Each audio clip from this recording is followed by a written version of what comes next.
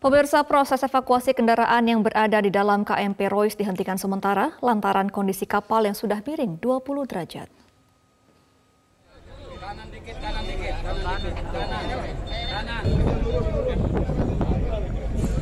Hingga minggu malam, para supir truk mengantri untuk mengambil barang-barang mereka yang masih tertinggal di dalam truk. Proses evakuasi kendaraan dihentikan sementara akibat terhalang oleh truk yang terbakar. Petugas pun harus mengevakuasi muatan truk tersebut.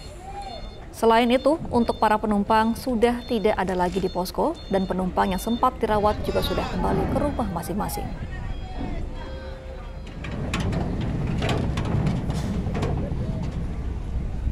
Sebelumnya pada minggu sore, kendaraan pribadi yang menjadi korban kebakaran kapal penumpang Roy 1 di Pelabuhan Merak berhasil dievakuasi ke darat.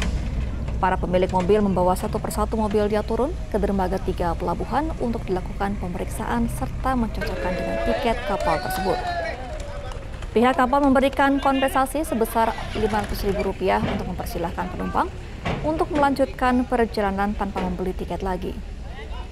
Mobil pribadi yang berhasil dievakuasi ke darat sebanyak 26 unit dan untuk sepeda motor sebanyak 16 unit.